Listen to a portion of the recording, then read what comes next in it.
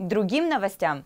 Летний сезон в Люберцах открыли программой «Спорт в каждый двор». Она предоставляет жителям уникальную возможность бесплатно получать инвентарь для занятий спортом в своем дворе. Программа стартовала в первый день лета и, что символично, в День защиты детей. В мероприятии приняли участие глава городского округа Люберцы Владимир Ружицкий, представители спорткомитета управляющей компании, военно-патриотической организации «Русский лад», а также самые активные и спортивные жители округа всех возрастов. Спорт начинается во дворе.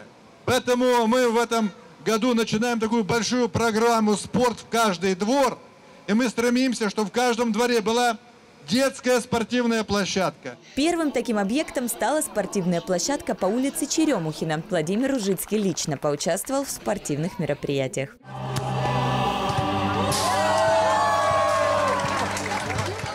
Спортинвентарь предоставляет Комитет по физической культуре и спорту городского округа Люберцы. В программе мероприятия турнир по пинг-понгу, мини-футболу и лазертагу, спортивная эстафета для малышей, открытая тренировка по единоборствам, поединки по силовой гимнастике и настольная воркаут-игра. Мы, комитет, бесплатно даем спортинвентарь для жителей города, которые будут сами организовывать все мероприятия в своем дворе.